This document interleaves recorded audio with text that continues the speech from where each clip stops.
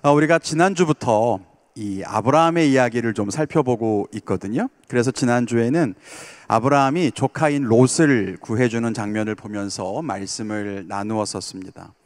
굳이 구해주지 않아도 되는데, 자기 조카이긴 하지만 자기 생명도 그렇게 위험한데, 굳이 조카인 롯을 구해준 그 이유는 롯을 생각하는 아브라함의 마음 때문이었죠. 불쌍히 여기는 마음인 긍휼, 뭐 사랑, 그리고 그 마음이 우리를 구원하신 하나님의 마음과 같다 이런 이야기를 했습니다. 하나님이 굳이 우리를 구원하지 않아도 되는데 우리가 그렇게 대단한 존재인 것도 아닌데 꼭 그래야 하는 의무도 없지만 자기 목숨을 내어 주시고 우리를 죄와 죽음에서 구원하신 이유는 하나님이 우리를 사랑하시기 때문이다라고 하는 말씀을 나누었죠. 그래서 우리가 구원받았습니다라고 하는 그 사실은 하나님이 우리를 사랑하십니다. 라고 하는 말의 증거가 된다고 했습니다. 그리고 하나님이 우리를 사랑하신다는 것은 우리가 세상을 이길 수 있는 힘이요, 능력이라는 말씀 나누었습니다. 근데 여러분, 사실 이 하나님의 사랑이 여러분에게 그만큼 매력이 있습니까? 세상의 성공이나 돈보다 또 사람들의 사랑과 명예, 세상의 즐거움과 쾌락, 쾌락보다 여러분들은 하나님의 사랑을 더 원하십니까? 그렇지 않다면 사실 뭐 하나님의 사랑의 증거가 어쩌고 하는 이런 설교는 다 소용없는 소리죠. 어떻게 하면 내가 원하는 것을 얻을 수 있는지 기도하는 방법이나 좀 가르쳐 주시오. 내가 세상에서 승리하기 위해서 어떻게 하나님 마음에 들 수 있을지나 좀 말해 주시오. 그렇게 생각할 수도 있지 않겠습니까?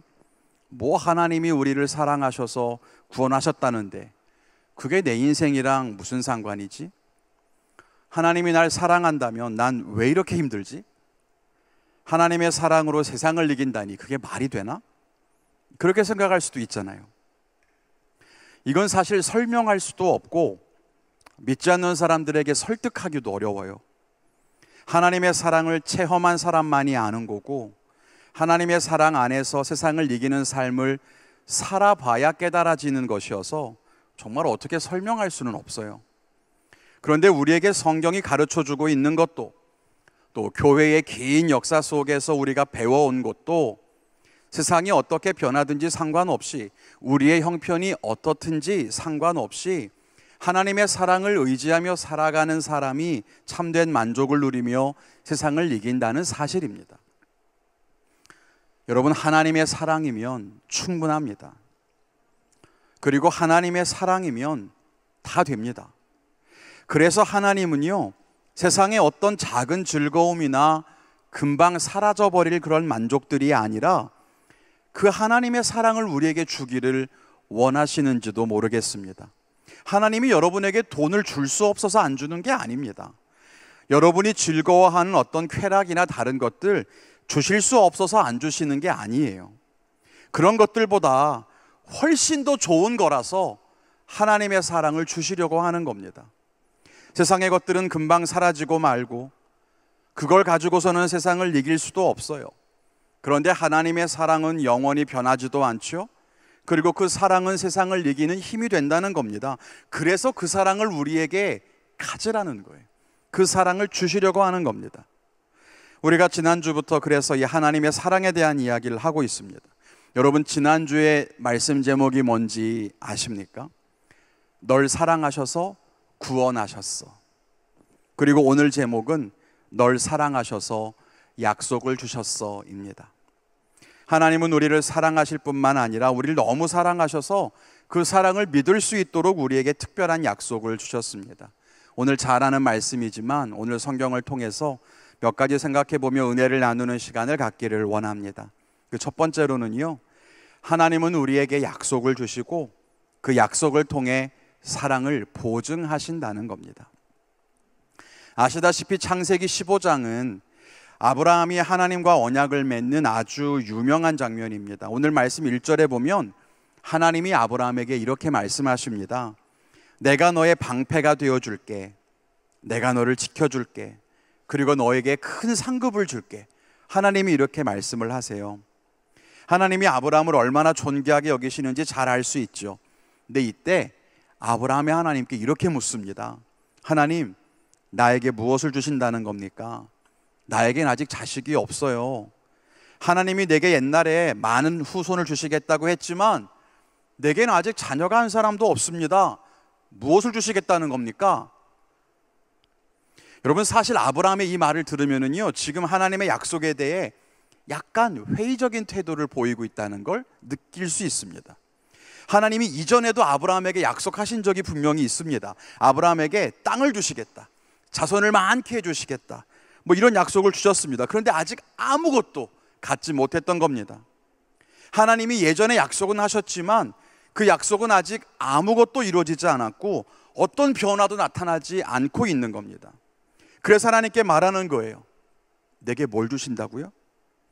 하나님이 내게 주신 것이라고는 아무런 변화의 조짐도 보이지 않는 빈말 뿐이지 않습니까? 라고 하나님께 말해요.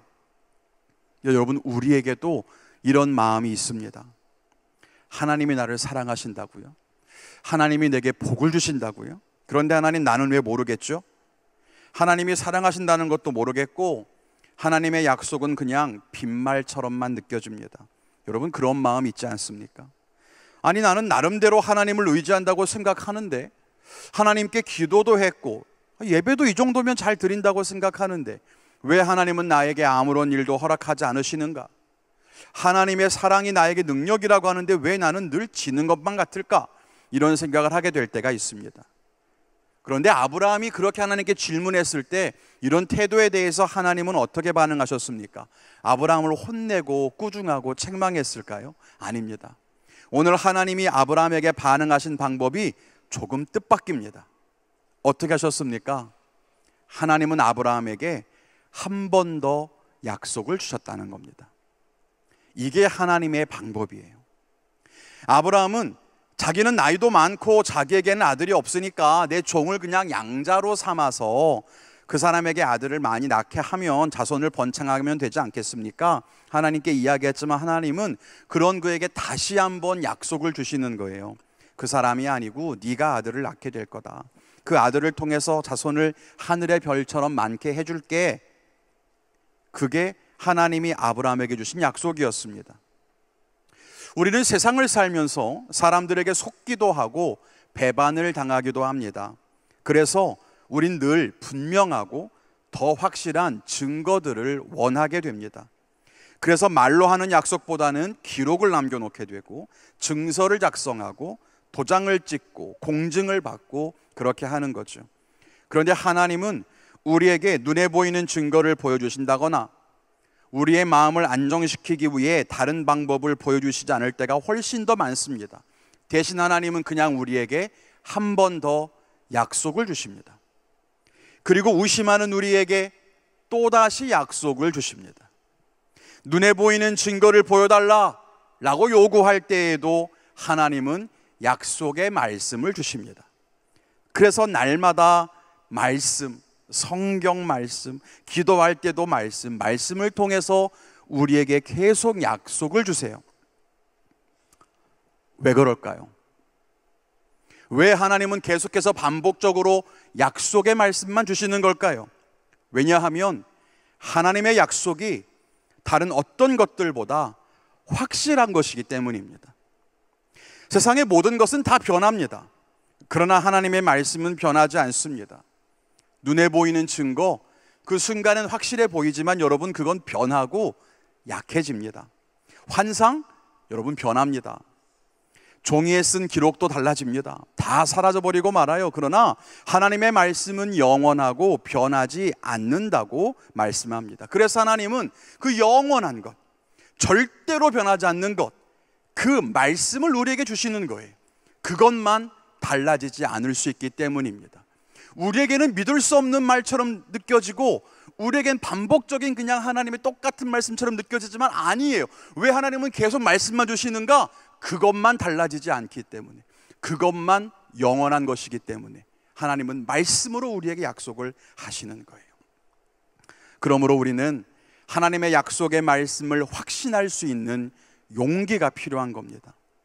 하나님을 믿는다는 것은 자기의 신념과 인생을 하나님께 맡긴다는 뜻입니다.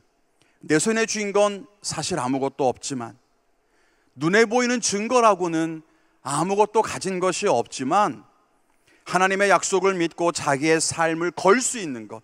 여러분 이것이 바로 믿음입니다. 그래서 이런 말이 있는 것 같아요. 믿음은 보험이 아니라 모험이다. 인터넷에 돌고 있는 유명한 말이에요. 그러나 여러분 이 모험은요. 무모하고 막연한 게임이 아니라 가장 확실한 하나님의 약속을 믿고 자기의 삶을 던지는 것입니다. 우리 사랑하는 청년들과 성도님들이 하나님의 그 약속, 그 말씀을 정말 귀하게 여기고 그것이야말로 영원히 변하지 않는 증거라고 하는 사실을 분명히 믿고 그렇게 하나님의 축복을 의지하며 살아갈 수 있기를 주님의 이름으로 간절히 축원을 드립니다. 둘째로는요. 하나님은 생명을 걸고 약속을 주셨다는 겁니다. 앞에서 말씀드린 것처럼 오늘 본문에는 하나님이 아브라함과 약속을 맺는 중요한 장면이 기록됩니다. 하나님께서 재물을 가져오게 하시고 그것들을 둘로 쪼개어 놨습니다. 예전에 말씀드린 적이 있지만 이 쪼갠 고기를 둘로 갈라서 마주보게 하죠. 고대 근동 지방에서 언약을 맺을 때 이런 일들을 흔하게 사용했다고 합니다. 국가나 개인 간의 어떤 약속을 맺을 때 어떤 문서에 서명하고 일종의 의식을 갖게 되는데 일반적으로 한 마리 혹은 여러 마리의 동물들을 죽여서 이등분을 하는 거예요. 쪼개놓고 양쪽으로 벌려놓습니다. 그리고 그 사이를 계약을 체결한 두 사람이 지나가게 되는 겁니다. 여기에 상징적인 중요한 의미가 있다고 말씀드렸었죠. 만일 이 계약에 서명한 대로 약속을 지키지 않으면 이 의식에서 짐승들이 저렇게 죽은 것처럼 죽음의 저주를 당해도 괜찮다라고 하는 약속인 겁니다. 나도 이렇게 쪼개어 죽여도 괜찮다. 반드시 지키겠다라고 하는 그런 상징적인 의미였습니다. 그런데요. 하나님이 아브라함에게 재물을 준비하라고 하신 이후에 아브라함은 깊이 잠이 들었습니다. 하나님은 이때 아브라함에게 앞으로 하나님께서 행하실 일들을 설명해 주셨다고 성경에 기록합니다. 훗날 400년의 이야기를 알려주신 건데요. 아브라함은 분명히 잠들어 있다고 했거든요. 그러니까 아브라함은 잠들어 있는데 하나님이 약속을 하셨다고 하니까 어쩌면 이건 아브라함의 꿈속에서 하나님이 말씀하신 것일 수도 있고 아브라함이 어떤 환상을 체험한 것일 수도 있겠어요. 근데 특이한 것은 그 약속을 한 이후에 계약 쌍방이 재물 사이를 지나가야 하는데 지나간 것은 아브라함은 없고 횃불만 지나갔더라라고 하는 거예요. 이 횃불은 하나님을 상징하겠죠. 즉 하나님과 아브라함이 약속을 맺었지만 아브라함은 그냥 잠들어 있었고 하나님만 쪼개놓은 재물 사이를 지나가게 된 겁니다. 하나님은 아브라함의 물음에 이렇게 답하신 겁니다. 앞에서 살펴본 것처럼 아브라함이 하나님께 물었습니다. 하나님, 이 땅을 저에게 주실 것을 뭐로 믿을 수 있습니까? 내겐 지금 아들 하나가 없는데 자손을 많이 주겠다는 약속을 대체 어떻게 믿을 수 있습니까? 내게 무엇을 주시려고 하는 겁니까? 그렇게 질문한 아브라함에게 하나님께서 답하고 계신 거예요. 나는 반드시 그 일을 이룰 거다. 만일 그 약속을 지키지 않는다면 내가 내 생명을 여기에 걸게. 난 반드시 지킬 거야. 너는 생명 안 걸어도 돼. 내가 생명을 걸을게. 라고 하나님이 혼자 지나가신 거예요. 하나님은 약속에 대해서 자기의 생명을 담보로 보증을 서신 겁니다. 이 의미는 하나님께서 아브라함에게 약속하신 가나안 땅 반드시 다 줄 거다. 자손의 약속 지킬 거다라고 하는 하나님의 다짐인 거죠. 하나님은 아브라함에게 주신 약속을 확실하게 이루신다는 것을 보여주기 위해 다른 것이 아니라 자기의 생명을 담보로 거셨습니다.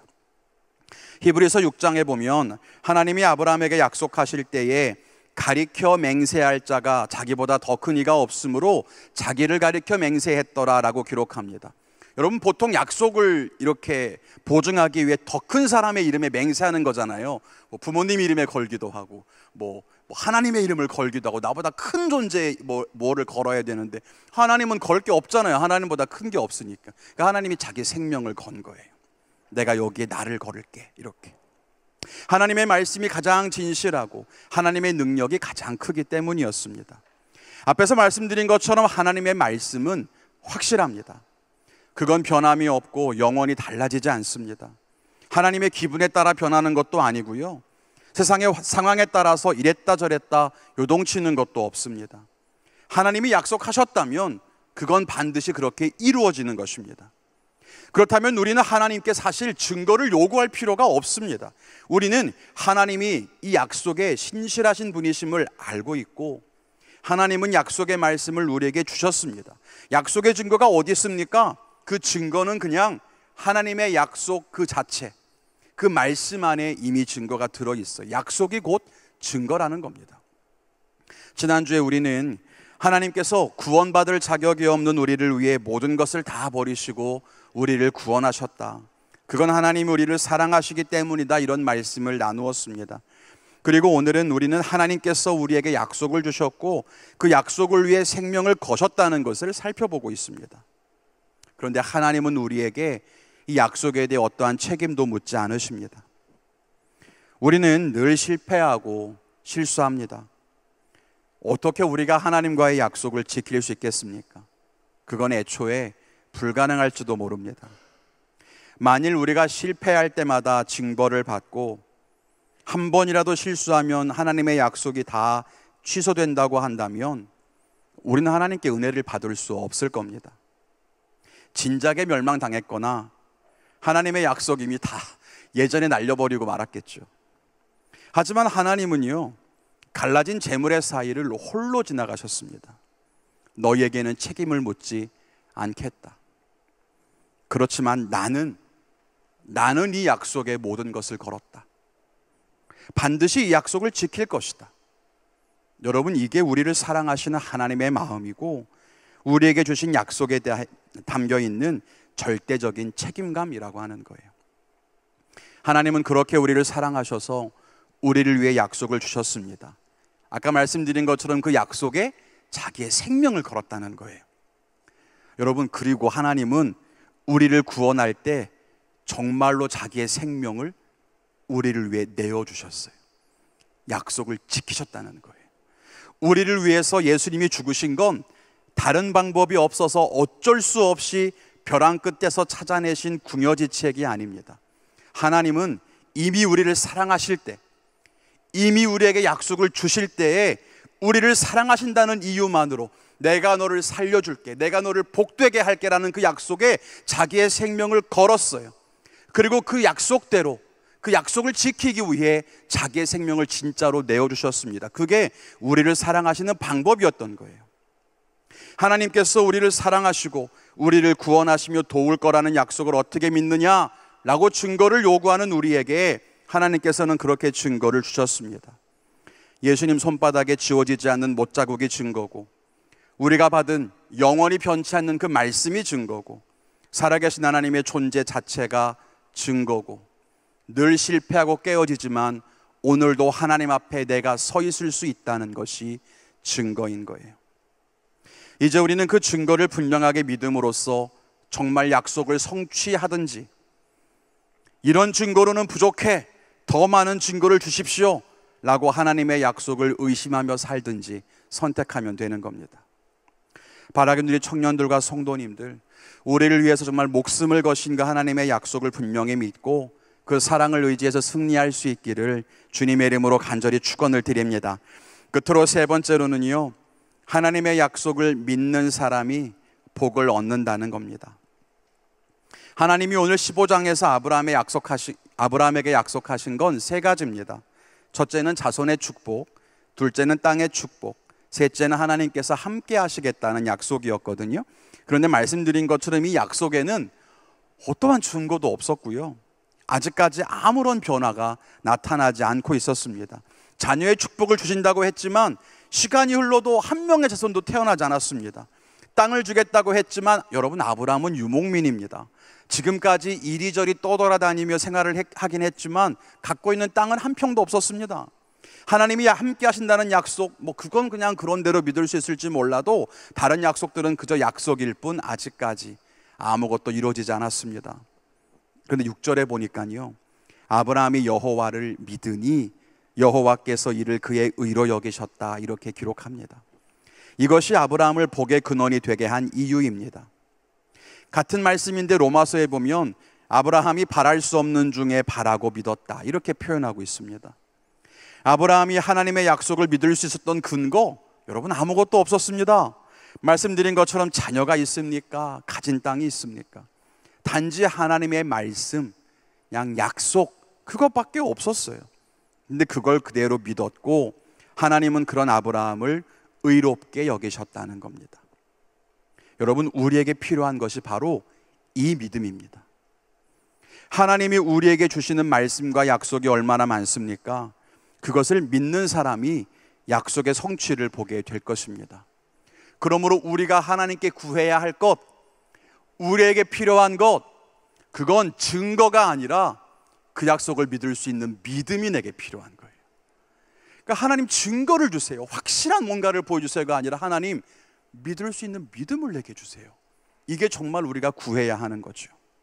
그런데 우리가 하나님의 약속을 믿는다고 할 때 다시 세 가지를 좀 제가 강조하고 싶어요. 먼저는 의심할 수는 있겠지만 믿음을 끝까지 포기하지는 제발 말라는 겁니다. 흔들림이 없이 하나님 믿으면 얼마나 좋겠어요. 그런데 여러분 사람이 그렇습니까? 우린 연약하고 태생적으로 의심이 많습니다. 작은 일에도 두려워하고 흔들립니다. 그래서 때로 하나님의 약속을 의심할 수도 있어요. 그러나 중요한 것은 그래도 포기하지는 말라는 겁니다. 앞서도 말했지만 아브라함은 하나님의 약속에 대해 약간 아쉬워하거나 약간은 불만 섞인 이야기 하고 있습니다. 아, 하나님 제게 뭘 주실 수 있어요? 아들도 없으니까 그냥 일하는 사람 양자로 삼을게요. 하나님께서 약속을 지키고 있지 않는 것에 대해 아브라함은 한탄하고 있어요. 그런데 하나님께서 그런 아브라함을 꾸짖지 않으셨거든요. 그리고 다시 약속을 주시고 그 약속에 아브라함이 아브라함이 아닌 하나님의 생명을 거셨단 말이에요. 하나님은 아브라함이 끝까지 약속을 믿기를 바라신 거죠. 근데 그 하나님의 태도가 우리에게도 마찬가지라는 거예요. 우리도 하나님의 약속을 받았을 때 때로는 의심할 수도 있고 때로는 속도가 너무 늦어서 하나님께 불평할 수는 있겠지만 그럼에도 하나님의 약속을 포기하거나 버려서는 안 된다는 겁니다. 하나님은 다시 우리에게 약속을 주시고 다시 약속을 주셔서 그 약속을 믿을 수 있게 하실 거예요. 그럴 때 우리가 하나님의 약속이 성취되는 것을 보게 될 줄로 믿습니다. 또 하나 기억할 것은요. 보이는 모든 것을 다 증거로 삼이라는 거예요. 말씀드린 것처럼 아브라함에게는 증거가 없었어요. 아들도 땅 한 조각도 없어요. 아브라함에게 하나님이 주신 것은 그냥 또 한 번의 약속의 말씀. 그리고 재물 사이로 지나간 횃불. 저 하늘의 별을 봐라 라고 했던 별. 이게 전부예요. 근데 여러분 생각해 보세요. 말뿐인 약속. 재물 사이로 지나간 횃불. 여러분 그게 약속의 증거가 될 수 있습니까? 여러분은 저거 보시면 약속의 증거다라고 분명히 믿을 수 있겠어요? 저건 약속의 증거가 아니에요. 하늘의 별처럼 자손이 많게 해줄 것이다 라고 하는 말도 말이 그렇다는 거지 증거는 아니잖아요. 내 손에 얻은 것도 아닌데 증거가 될 수는 없어요. 그런데 아브라함은요 그런 것들을 다 이 약속의 증거로 받았다는 거예요. 그리고 하나님의 약속을 믿게 됐다는 겁니다. 그게 중요한 거예요. 우리는 하나님께 이렇게 말할 때가 있습니다. 하나님 증거를 주세요. 지금 내게 주신 이 말씀은 증거가 될 수 없습니다. 더 확실한 눈에 보이는 무언가를 증거로 주세요. 라고 말해요. 그런데요, 하나님이 주시는 모든 말씀, 그리고 모든 현상은 다 증거가 될 수 있다는 것을 여러분 기억하세요. 그걸 잊어버리면 안 돼요. 여러분 받았던 신년 말씀 카드 있잖아요. 다 뽑았죠. 안 들어있으면 섭섭해서 내 거 없어요 라고 찾아와서 받아가셨잖아요. 그 말씀 외우고 계시는 분. 없잖아요. 그게 내게 주신 하나님의 평생의 축복의 말씀이라고 왜 우리는 끝까지 붙들고 있지 못하죠? 그 말씀 카드 다 어디 갔어요? 집에 잘 모셔뒀습니까? 인스타에 한번 올리거나 성경에 꽂고 다니고 끝이라면 그건 진짜 추억이 되고 말아요. 그런데 그걸 증거로 삼으면 그게 내게 주신 약속이 되는 거예요. 매주 드리는 이 예배, 맨날 비슷한 얘기하는 설교, 성경 통독대 읽는 성경 말씀, 그런 것들을 흘려보내는 사람과 그것이 증거라고 믿는 사람. 여러분, 어떤 사람이 하나님께 믿음의 모습이라고 인정받을까요? 여러분이 보고 듣고 경험하고 느끼는 모든 것들이 다 하나님의 증거다라고 붙잡고 살아가는 사람과 모든 것을 다 지나쳐 버리는 사람 중에 누가 믿음을 지킬 수 있을까요? 오늘 우리 눈엔 보이는 증거가 없다고 제가 부정적으로 말했지만 증거가 없다고요? 천만의 말씀. 수많은 증거들을 다 지나치고 있을 뿐이에요. 내 친구의 이야기도 증거가 될 수 있고, 오늘 만난 버스의 광고도 증거가 될 수 있고, 오늘 성경 말씀도, 찬양도 다 증거로 받고자 하면 다 증거지. 근데 그걸 다 아무것도 아닌 것처럼 지나쳐 버리니까 문제인 거죠. 타는 횃불 사이로 지나간 횃불, 아, 타, 아니지. 쪼개진 재물 사이로 지나간 횃불. 그것도 그냥 지나쳐 버리면 아무것도 아닌 거예요. 거기에 의미를 부여하고 여러분 이게 하나님의 약속입니다. 하니까 귀에 보이는 거지. 하늘의 별처럼 많은 자손을 너에게 줄게. 아, 그래요? 하고 지나가면 아무것도 아닌 거예요. 별이 뭐 수천 개면 어떻고 수만 개면 어때? 나와 아무 상관없지. 그러나 단 두 개의 별을 받더라도 아, 주님 그렇군요. 라고 믿음으로 받으면 증거가 되는 거지. 증거가 없다고 말하지 마세요. 우린 증거를 다 놓치며 살고 있는지도 모른다는 거죠. 끝으로 기억할 것. 하나님의 약속을 이룰 때 우리가 할 일은 없다는 거예요. 아브라함의 힘으로 땅을 얻은 게 아니에요. 자손이 많아진 것도 아닙니다. 약속을 주신 분도 하나님이시고 약속을 이루신 분도 하나님이십니다. 우린 이 사실을 분명하게 믿어야 합니다. 물론 우리는 주어진 삶에 최선을 다해야 할 겁니다. 성실하게 살아야 되죠. 그러나 하나님의 약속을 이루는 것은 우리 힘으로 이루어낼 수 있는 업적이 아닙니다. 하나님이 도우시는 일이고 하나님이 행하셔야만 하는 일입니다. 그러므로 우리가 실패하는 것에 너무 연연해하거나 두려워할 이유는 없습니다. 우리의 약함이나 부족한 것들 때문에 염려할 필요 없습니다. 아브라함이 완벽한 사람이라서 하나님의 약속이 이루어진 것이 아닙니다. 아브라함이 똑똑하고 학벌이 좋고 돈이 많아서 위대한 사람이 된 것이 아니라 하나님의 약속이 하나님의 하나님이 아브라함에게 주셨던 그 약속이 그냥 성취되었던 것이 중요한 거죠. 그러므로 우리는 우리의 삶에 하나님의 은혜가 임하도록 늘 하나님을 의지하는 그 믿음을 갖는 게 훨씬 더 중요합니다. 그게 우리가 가져야 하는 믿음인 거예요. 우리가 무언가 열심히 했어야 되는데 하지 못했구나. 우리가 무언가를 이루었어야 하는데 그 뭐지 못했구나가 중요한 게 아니라 하나님은 우리에게 약속을 주시고 그 약속을 반드시 성취하신다. 거기엔 우리의 수고와 업적이 아니라 하나님의 온전한 은혜가 있다라고 하는 것을 믿을 수 있는가라고 하는 게 중요한 거죠. 우리 사랑하는 청년들과 성도님들이 이 믿음 갖게 되시기를 주님의 이름으로 축원합니다. 이제 말씀 맺겠습니다. 예배팀은 나와서 우리 기도와 찬양을 준비해 주시기를 바랍니다. 여러분 하나님이 우리를 사랑하신다는 이야기를 지난주부터 아브라함의 이야기를 계속 좀 보면서 말씀을 나누어 보고 있거든요.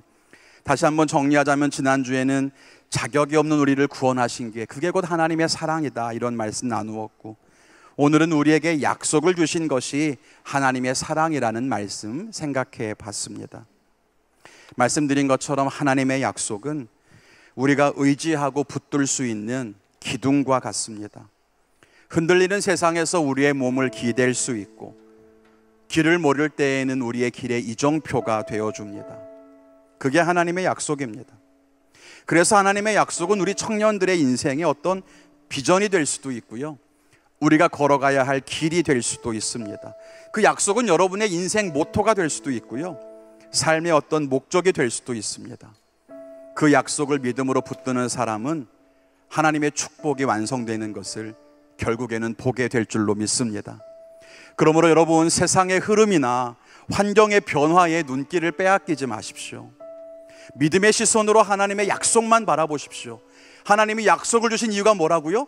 그것이 가장 확실하고 영원히 변치 않는 것이기 때문입니다. 그것을 이루실 하나님은 신실하십니다.